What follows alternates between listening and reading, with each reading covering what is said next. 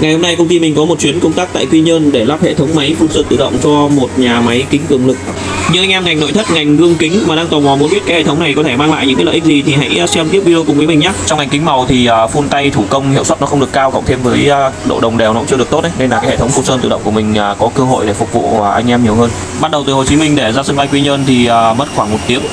Hôm nay à, trời nắng rất là đẹp. Một tiếng bay cũng khá là nhanh nên là quay đi quay lại cũng đã đến sân bay Phú Cát rồi. Xin chào quê hương của đặc sản rượu bầu đá Và cũng là quê hương của idol của tôi, Chủ tịch Hoàng Anh Gia Lai, chú Đoàn Nguyên Đức. Bây giờ thì cũng đã đi đến nhà máy rồi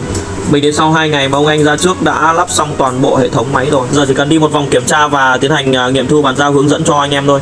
Trong bất kỳ một công việc nào khi mà anh em có được những người đồng đội vừa tài năng vừa tâm huyết thì à, công việc sẽ rất là suôn sẻ và gần như là làm đâu được đấy. Thực sự rất là biết ơn và trân trọng những người anh em luôn gắn bó và tâm huyết cho công việc vì à, phát triển những cái lợi ích chung. Bây giờ thì lên danh sách đào tạo và chia sẻ hỗ trợ các kiến thức sản xuất ngành kính màu cho anh em thôi Chúng ta sẽ bày hết các cái đồ cần à, sử dụng đến như à, băng keo chạy chỉ, bộ vệ sinh kính, sơn kính, đông cứng, dung môi, súng phun, rồi là cân điện tử, tay quấy rót sơn. Do sơn kính thì rất là đặc nên là mỗi một lon sơn chúng ta sẽ cho thêm khoảng 10 đến 15 phần trăm xăng vào từng lon như thế này anh em nhé. Chúng ta sẽ khuấy thật đều lên để khi uh, rót công thức chuẩn thì uh, sơn nó sẽ ra theo từng giọt từng giọt là uh, chính xác đảm bảo cái độ chuẩn của sơn anh em nhé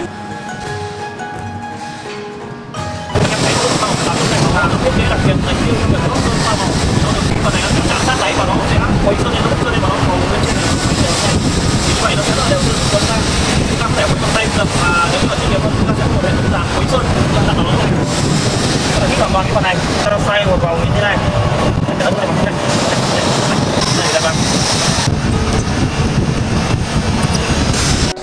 với một cái công cụ rót sơn chuyên dụng như này thì sẽ giúp cho công việc pha sơn phối màu của anh em được à, rất là chính xác và sạch sẽ, chuyên nghiệp. Đây là cân điện tử ngành sơn giúp cho công việc pha sơn phối màu của anh em được uh, chuẩn theo công thức, theo tỷ lệ giúp cho màu sắc luôn ổn định. Bây giờ sẽ hướng dẫn anh thợ pha thử màu uh, xanh da trời mã là VP05. Trong thành phần công thức thì nó bao gồm trắng và xanh dương. Rõ hai màu này theo đúng tỷ lệ trên sổ công thức chuẩn thì sẽ ra được đúng màu anh em mình cần nhé. Bây giờ thử màu nào. Anh em lưu ý điều đặc biệt những màu của ánh xanh ấy thì chúng ta nên pha nó sáng hơn cái màu trên catalog một chút. Đến khi sơn nó khô chết hoàn toàn thì màu sẽ sậm xuống là vừa.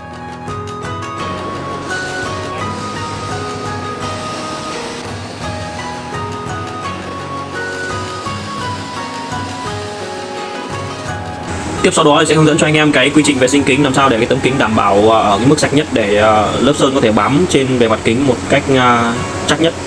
Đến cái giai đoạn lọc sơn thì mình mới phát hiện ra là có rất nhiều xưởng đang dùng những cái rẻ hoặc cái khẩu trang cắt ra để mà lọc tạm. Anh em hoàn toàn có thể dùng những cái phễu lọc sơn chuyên dụng với cái mắt lưới rất là mịn như thế này anh em nhé. Của mình sẽ rất là chuyên nghiệp và cái sơn nó lại đảm bảo nó không bị sạn Trước tiên thì mình sẽ hướng dẫn anh thợ sơn kỹ thuật phun sơn bằng tay bởi vì trong quá trình sản xuất ấy thì à, những cái tấm kính nhỏ và đơn lẻ màu sắc lại à, riêng biệt ấy thì mình lên phun sơn bằng tay nó sẽ nhanh hơn là mình bắn máy anh em nhé. Đấy, sau khi sơn xong thì chúng ta sẽ kiểm tra cái màu sắc nó hoàn toàn rất là giống với à, màu VP05 trên catalog và pha theo công thức anh em. Bây giờ sẽ đến phần hướng dẫn và chạy thử máy với cái hệ thống phun sơn này thì từ tấm lớn đến tấm nhỏ thì vẫn có thể sơn được bình thường anh em nhé. Cài đặt cái khu vực cần sơn bằng à, cảm biến và điều khiển qua remote không dây. Thao tác thì rất là đơn giản, chỉ cần à, khoảng 10 đến 15 phút à, để chia sẻ cái cách sử dụng là anh em có thể dùng được rất là nhuần nhuyễn và bình thường. Chia sẻ hướng cho anh em cái cách để chúng ta có thể sử dụng được cái đầu phun sơn tự động này một cách nhuần nhuyễn. Thì nó có ba bộ phận chính anh em mình cần phải nắm rất là rõ nhé. Đầu tiên là chúng ta cần phải biết về cái khoảng cách phun tiêu chuẩn là bao nhiêu thì thường thường từ bề mặt sơn đến cái đầu phun nó sẽ dao động từ 15 đến 18 cm chúng ta sẽ để nó trong khoảng đấy là ok đó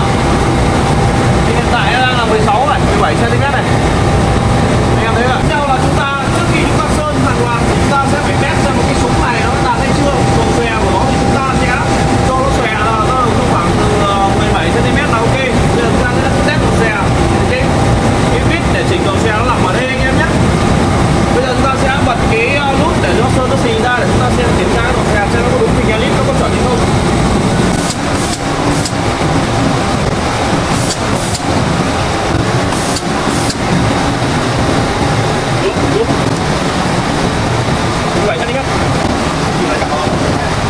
như vậy là chúng ta đã vừa sơn xong bằng ờ, cái máy tự động rồi bây giờ tôi sẽ chia sẻ hướng dẫn cho anh em cái cách để chúng ta vệ sinh cái súng này một cách nhanh nhất thì ờ, cái đầu tiên là chúng ta sẽ kiểm tra xem là lượng sơn nó còn nhiều hay không ít nếu như trong trường hợp hiện tại chỉ còn một chút xíu này thôi chúng ta có phải xì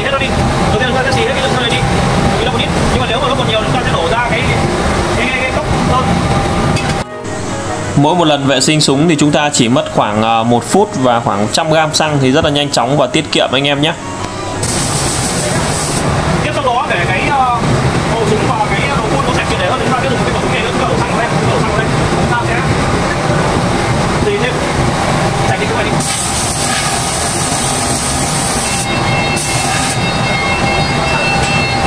cái đầu phun này đầu tiên là chúng ta sẽ tháo cái đầu súng này ra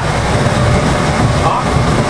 nó quá trình phun thì sơn nó sẽ dính vào các cái lỗ này dính vào các cái đầu hai bên như này thì ra sẽ đổ vào này sau bắn như vậy Đó, với cái độ mạnh hòa tan của xăng và kết hợp với áp lực của gió thì à, chúng ta dễ dàng à, vệ sinh súng một cách rất là nhanh và tốn rất là ít cái à, dung môi. Phần tiếp theo sẽ hướng dẫn anh em cái cách để tạo lên một bộ kính ốp bếp chạy chỉ gương đang hot nhất thị trường hiện tại bây giờ.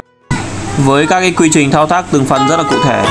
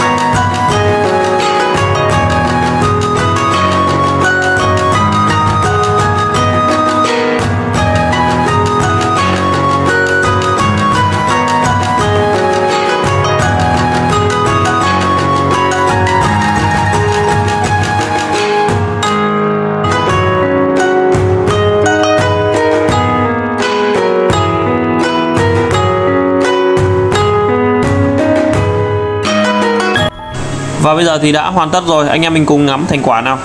À, với những kính màu ốp bếp màu đơn ấy thì thực sự nó đã rất là đẹp, rất là sang trọng, rất là sạch sẽ rồi. Nhưng mà khi mà những cái à, bộ kính ốp bếp được sơn à, chỉ gương như thế này nó sẽ tạo lên cái điểm nhấn và nhìn nó sẽ sang trọng hơn rất là nhiều. Nhìn nó có cái độ lấp lánh và nó phản chiếu.